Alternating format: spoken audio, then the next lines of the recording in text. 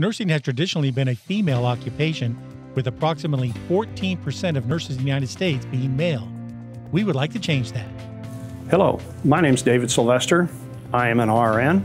I am also a retired Marine.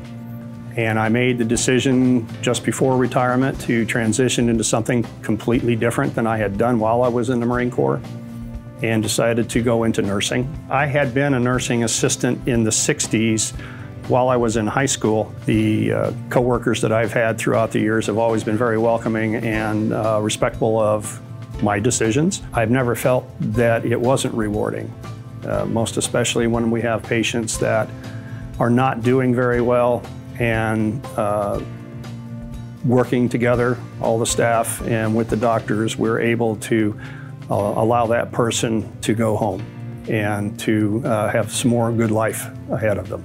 And I really, really enjoy that.